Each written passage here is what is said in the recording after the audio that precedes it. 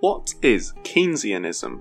John Maynard Keynes was an English economist made famous for his work in the early to mid 1900s. Keynes was well known for his ideas on how to stimulate the economy during recessions to both shorten and lessen their impact. So, how did Keynes suggest we avoid and escape recessions? Spending. More specifically, government spending.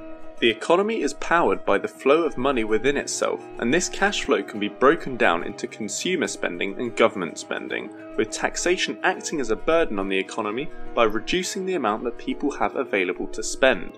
An economy enters a recession when total spending decreases significantly, so Keynes's theory involved increasing government spending and decreasing the burden of taxation as the economy began to slow down. With the use of Keynesianism, interest rates fall, unemployment falls, and people have more money to spend when the economy begins to stagnate. The sacrifice of Keynesian economics is that the necessary government spending is fueled by spending reserves, inflating the currency, or taking on debt.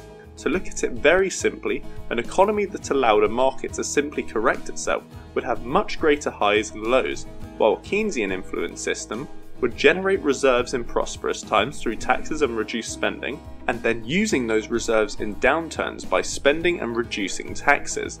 This reduces the volatility and fluctuations in the economy.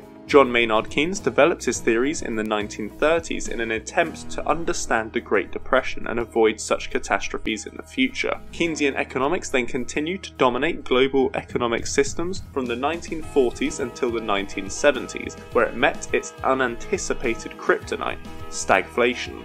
Stagflation is where an economy suffers from both rising inflation and unemployment, along with low growth.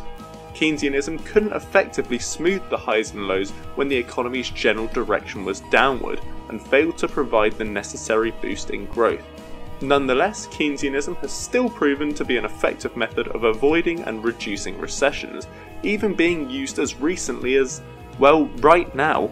If it weren't for Keynesianism, the COVID pandemic would have easily plunged the world into the worst depression in history.